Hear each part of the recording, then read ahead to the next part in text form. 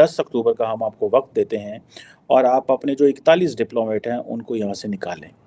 ये बहुत बड़ी डेवलपमेंट है। उसकी वजह यह है, जो मैं समझता हूँ, कि कनाडा का साथ वेस्टर्न ममालिक ने नहीं दिया। इस वक्त ब्रेकिंग न्यूज़ है और वो न्यूज़ ये है कि इंडिया ने कनाडा को ये धमकी दी है, ये थ्रेट किया है, या ये कहा है कि अपने 41 डिप्लोमेट्स को रिपेट्रिएट करो।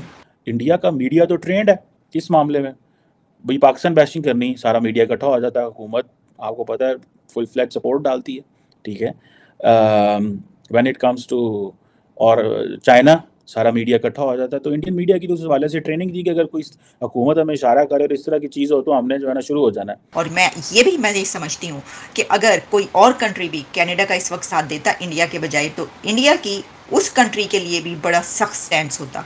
और वो उसको भी ऐसे ही लेते और कहते कि अच्छा ये बात है। अगर जस्टिन ट्रूडो बैक ट्रैक कर जाते हैं तो ये मैं आपको बताऊँ फिर वेस्ट में कोई मुल्क नहीं बोलेगा इंडिया के खिलाफ। ठीक है?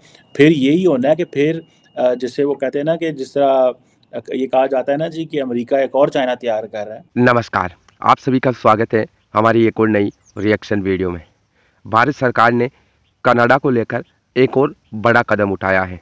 दरअसल भारत सरकार की तरफ़ से ऑफिशियल तौर पर तो कोई नोटिफिकेशन अभी तक तो सामने नहीं आया है, लेकिन खबरें ये चल रही हैं कि भारत सरकार की तरफ़ से कनाडा को ये बता दिया गया है कि आपके इतने ज़्यादा जो डिप्लोमेट दिल्ली के अंदर बैठे हुए हैं, उनको आप कम कीजिए और इकतालीस डिप्लोमेट को वापस भेजने का जो है ना, एक तरीके से फरमान सुना दिया गया है।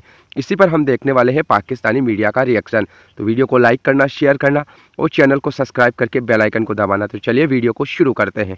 दोस्तों, एक बड़ी डेवलपमेंट है। आपको याद होगा, कुछ अर्सा पहले जब भारत की तरफ़ से पहला रिएक्शन आया था जब कनाडा ने कहा कि जो कनेडियन इंडियन इंटेलिजेंस के लोग हैं, वो एक कनेडियन को कत्ल करने में इन्वॉल्व हैं तो जो बागची साहब हैं, जो मिनिस्टर एक्सटर्नल अफेयर्स मिनिस्ट्री के जो स्पोक्स पर्सन हैं, उन्होंने जो स्टेटमेंट दी थी, उन्होंने एक चीज़ कहा था कि एक डिसप्रपोर्शनेट नंबर है कनेडियन डिप्लोमेट्स का इंडिया के अंदर। आज एक फाइनेंशियल टाइम्स की रिपोर्ट आई है, जिसमें उन्होंने कहा है कि जी 10 अक्टूबर का हम आपको वक्त देते हैं और आप अपने जो 41 डिप्लोमेट हैं, उनको यहाँ से निकालें। ये बहुत बड़ी डेवलपमेंट है। उसकी वजह यह है, जो मैं समझता हूँ, कि कनाडा का साथ वेस्टर्न ममालिक ने नहीं दिया। ये जितनी भी हम लफ्ज़ बोलते हैं ना, ये जो ग्रेट पार्स ठीक है जी? ये जो चार पाँच हम नाम लेते हैं जी ठीक है जी। इनमें से अमेरिका ने भी साथ नहीं दिया जर्मनी ने भी नहीं दिया चाइना ने तो वैसे नहीं देना था जापान खामोश रहा रशिया का तुक नहीं बनता था। आ, ये सारे और उसके बाद बरतानिया ऑस्ट्रेलिया सारे के सारे खामोश रहे।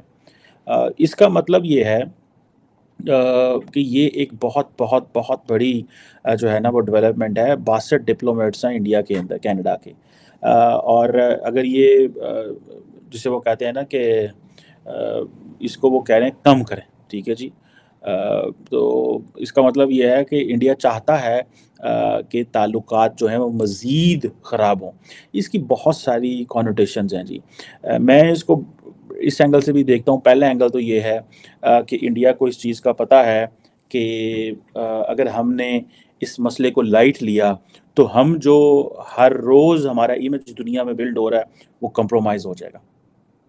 अगर इंडिया को दुनिया समझ रही है कि इंडिया एक एमर्जिंग पावर है तो यहाँ पे आपको कनाडा को एक टफ पोजीशन लेनी पड़ेगी पहली बात। दूसरी बात यह है कि उन्होंने पिछले कुछ अर्से में एक चीज़ तो ये की है कि नरेंद्र मोदी इस पर बात नहीं करते। दूसरी बात। तीसरी बात यह है कि डॉक्टर जयशंकर ने बड़ी लो टोन में एक बात की है, जिसमें उन्होंने ये कहा जी कि ये जिसे वो कहते हैं ना कि एक इन्वायरमेंट है, ठीक है जी कनाडा के अंदर। और वो जो क्लाइमेट ऑफ़ वायलेंस है this is what is and there is an atmosphere of intimidation ठीक है? बेसिकली इंडिया ये कहता है कि अगर ऐसे लोग जो सेपरेटिस्ट मूवमेंट को कामयाब कराना चाहते हैं, वो किसी भी कंट्री में मौजूद हैं और वो एक्टिव हैं और उनकी जो होस्ट गवर्नमेंट है, वो उनको सॉफ्टली डील कर रही है फॉर वन रीज़न और दी अदर रीज़न तो हमें इस पर करना पड़ेगा। अगर जस्टिन ट्रूडो बैक ट्रैक कर जाते हैं तो ये मैं आपको बताऊँ, फिर वेस्ट में कोई मुल्क नहीं बोलेगा इंडिया के खिलाफ। ठीक है? फिर यही होना है कि फिर जैसे वो कहते हैं ना कि जिस तरह ये कहा जाता है ना जी कि अमेरिका एक और चाइना तैयार कर रहा है। ठीक है? इस तरह there is a probability in other coming years कि जब इंडिया इस, अभी तो इंडिया जो मर्ज़ी हो जाए, अमेरिका के खिलाफ नहीं बोलता। Nobody will speak against India America in you in India में कोई नहीं बोलेगा। हर बंदा बड़ा खामोश रहता है, बड़ा नपातुला इधर उधर। मीडिया आजकल इंडिया का थोड़ा सा सर्ट रोल प्ले करता है।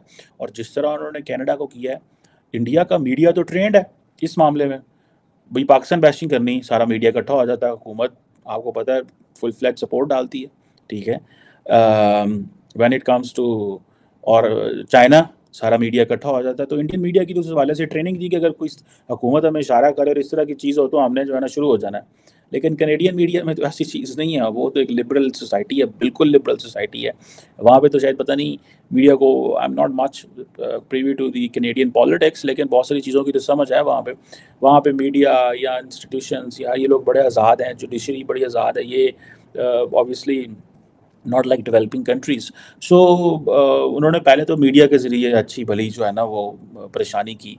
बल्कि जब जस्टिन ट्रूडो इधर ही थे जी ट्वेंटी के बाद उनका जहाज़ ख़राब हो गया तो मीडिया ने बड़ी ले दे की उनकी। सो मेरा ख्याल है एक ही ऑप्शन रह जाता है ट्रूडो के पास टू स्ट्राइक बैक और हिट बैक डिप्लोमेटिकली लेकिन इस तरह ना हो कि जो मैं चाहता हूँ, अगर if if Trudeau wants to survive but if Trudeau want doesn't want to survive तो वो अलहदा बात है।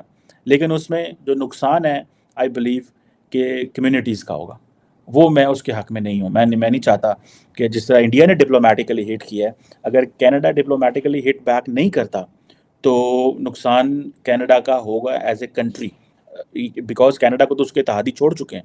सो so, यहाँ पे आके अगर जस्टिन ट्रूडो ये करता भी है तो they should make sure because अब इसमें प्रॉब्लम ये है कि जगमीत सिंह वो जितने लोग भी हैं उनको ये पता है कि अगर हम हिट करेंगे तो इसमें ज़्यादा कॉम्प्रोमाइज़ तो जो है वो कैनेडियन जो इंडियन की पॉपुलेशन होगी and particularly the Sikh community तो अगर हमने, हम ही ने अपने लोगों को नुकसान पहुंचाना शुरू कर दिया तो जगमीत सिंह का जो वोट बैंक है वहाँ पे, जो कि तकरीबन कहा जाता है कि आठ लाख के करीब वोट बैंक है कनाडा के अंदर, ठीक है? आठ लाख सिख पॉपुलेशन है टोटल तो चौदह लाख है। सो ये फैक्टर्स जो हैं, ये मैं इनको समझता हूँ कि ये बेसिकली कनाडा के पास कम लिवरेज है टू स्ट्राइक बैक ठीक है? और लेकिन इंडिया के पास ज़्यादा लेवरेज है। क्योंकि इंडिया अपना डोमेस्टिक पॉलिटिकल स्कोर भी सेटल कर लेंगे वो। डोमेस्टिकली भी प्रेशराइज कर लेंगे इंटरनेशनल भी अपना इमेज ठीक कर लेंगे। कनाडा uh, के साथ जो ट्रेड श्रेड इतनी वो इतनी लंबी चौड़ी नहीं है उन्होंने पिछले को दस कुछ सालों में कनाडा ने कोई इंडिया के अंदर इन्वेस्टमेंट इन्वेस्टमेंट की है लेकिन इतने बड़े पैमाने पे नहीं की। सो so, वो समझते हैं कि जी ठीक है हमें क्या ज़रूरत है इतनी करने की इन्वेस्टमेंट करने की। मेरे ख्याल है कोई तेरह अरब डॉलर की बाई चौदह अरब डॉलर की बायलैटरल ट्रेड है दोनों मुल्कों it's not a big number ठीक है जी। कि दो हज़ार बाईस की मैं आपको बता रहा हूँ कि चौदह ट्रिलियन डॉलर के करीब कैनेडियन डॉलर्स की ट्रेड है। सो आप इसमें अंदाज़ा लगा लें। लेकिन ये ये ये ये ये ये टाइम आ गया जस्टिन ट्रूडो के ऊपर कि अगर वो वापस जाके कुर्सी पे बैठ जाता है जो कि लगता है कि वो बैठे हुए हैं बिकॉज़ उसको ज़्यादा रिलाइज रियलाइजेशन ये थी कि ये ऐसे है। सो uh, so, मुझे ऐसे लगता है कि एक तरफ़ से चाइना जो है हो सकता है सिंपथी दिखानी शुरू कर दे कल को कनाडा को। ये वही जस्ट ये वही शी जिनपिंग हैं जिन्होंने इंडोनेशिया में ही ही लेक्चर्ड जस्टिन ट्रूडो अब देखना यह है कि क्या होता है इस हवाले से। क्या, जैसे आप बोलते हैं जस्टिन ट्रूडो हिट बैक करते हैं और इंडिया के डिप्लोमेट्स को निकालते हैं, या वो वो वो कहते हैं कि नहीं, रहने दें इनको।